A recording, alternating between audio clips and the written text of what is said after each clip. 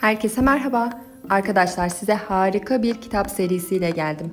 Pofidik serisi o kadar eğlenceli, o kadar güzel ki buna bayılacağınızdan eminim. Hadi bakalım şimdi okumaya başlıyorum.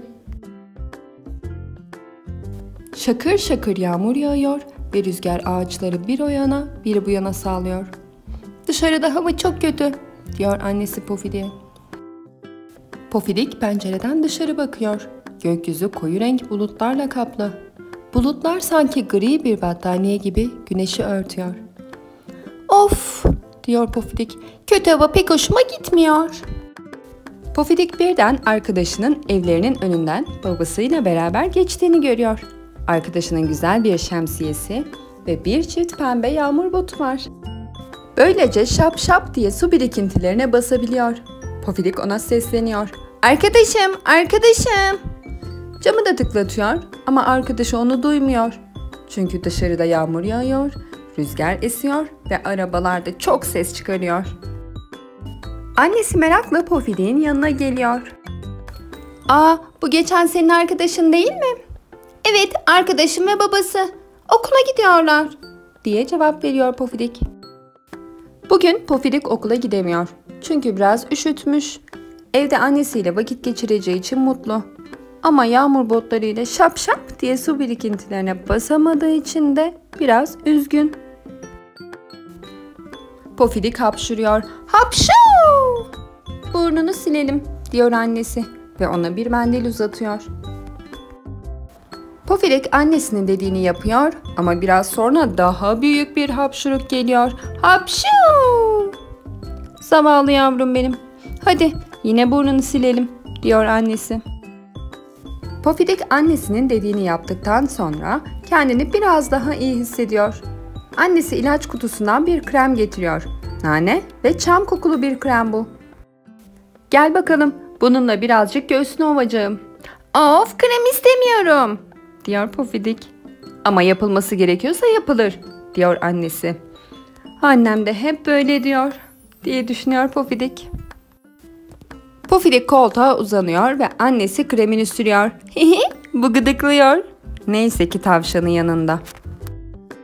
Krem sürme işi bittiğinde oturuyor ve birlikte küçük bir kitap okuyorlar.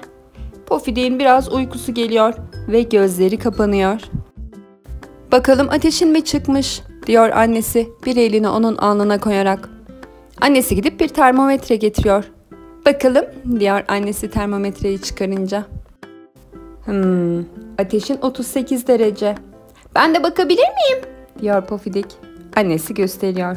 Hmm, ne kadar uzun. Tavşancığın da ateşine bakıyorlar. Onunki 39 derece. Daha da fazla. Annesi Pofidik'e bakması için doktoru arıyor. Doktor çok nazik birisi. Ayrıca tuhaf bir cihazı var. Onu kulağına taktığında kalp atışlarını duyabiliyor Pofidik'in. Bum bum bum derin bir nefes almasını ve öksürmesini söylüyor Doktor Pofidik'e. Aferin Pofidik, sana tadı çileğe benzeyen bir şurup vereceğim ve birkaç gün içinde iyileşeceksin. Doktor tavşancığı da muayene ediyor. Tavşancığın şurup içmesi gerekmiyor. Sadece şikayet etmeden yatakta kalması gerekiyor. Sen de onunla yatmalı ve onu sıcak tutmalısın, diyor Doktor Pofidik'e. Sonra da gidiyor. Çünkü başka küçük ve hasta ayıcıklara bakması gerek. Annesi Pofidik'e bir kaşık şurup veriyor.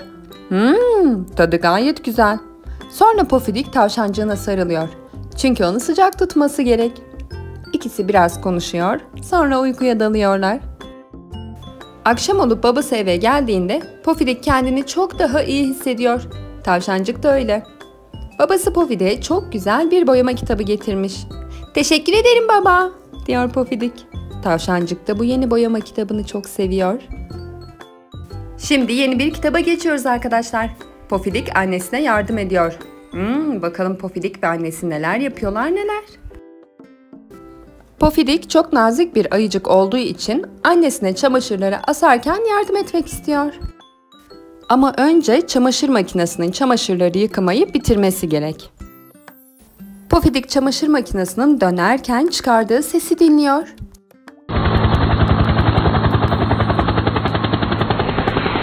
Aynı böyle bir ses. Çamaşırlar dönüp duruyor.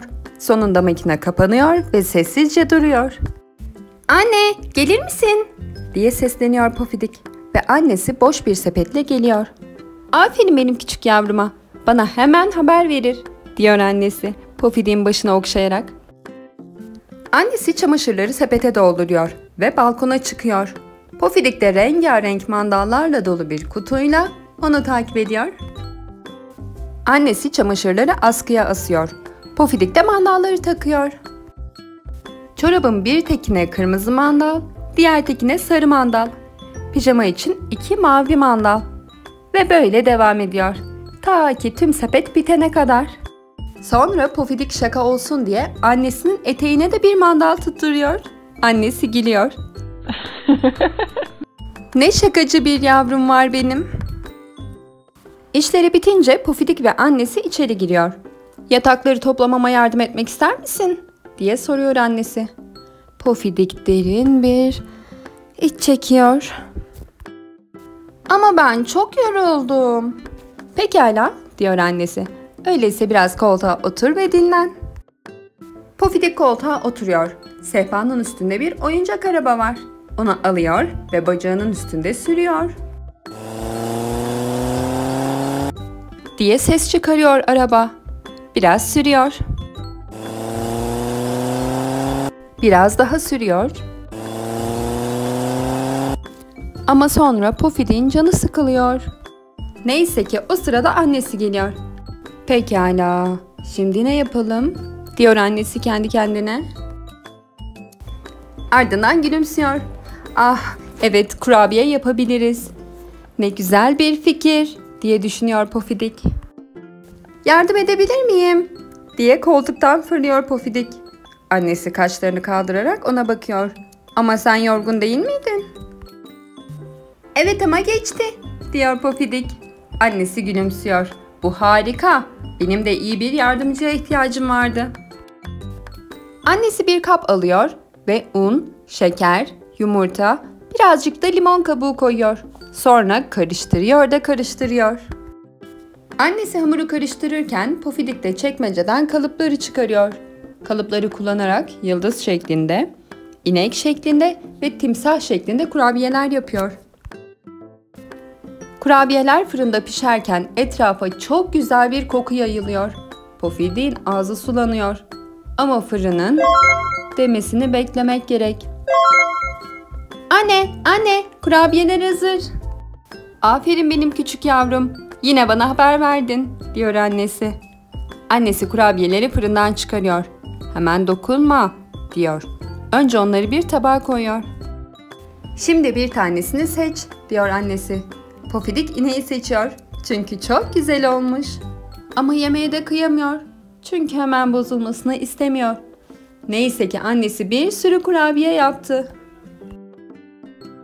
Arkadaşlar, sizler için okuduğum bu kitapları beğendiyseniz abone ol tuşuna basmayı unutmayın. Yeni kitaplarda görüşmek üzere.